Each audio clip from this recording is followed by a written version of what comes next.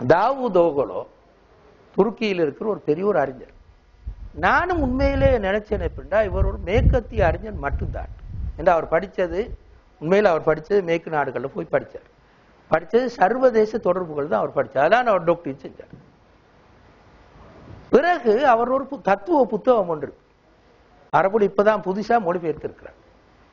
என்ன தத்துவ புத்தகத்துல பேருண்டா இஸ்லாமிய உலகம் நாகரீக மாற்றங்களுக்கு மத்தியில்.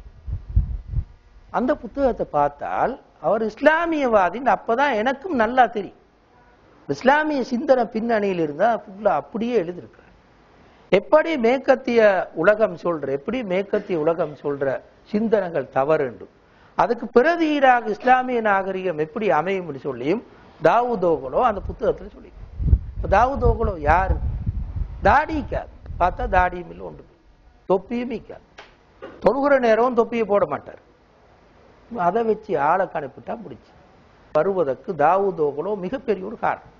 தாவூதோகலோ துருக்கியில தத்துவ ஆசிரியர். உண்மையில சொன்ன எனவே எங்கட ஆக்களையும் நாங்க புரிஞ்சு கொள்ளாத எனக்கு ஆகப்பெரிய கவலை.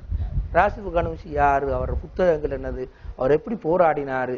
ஏன் அவர் இப்படி பேசுறாருன்றது மிச்சம் கவனமா நாங்க புரிஞ்சு கொள்வோம் அப்பதான் இதை விலையும் குறையும் ஆனா விசேஷம் என்ன தெரியுமா? நாங்க விளங்காட்டி மேற்கு நாடுகள் விளங்கி இஸ்ரேலுக்கு நல்ல விடம்.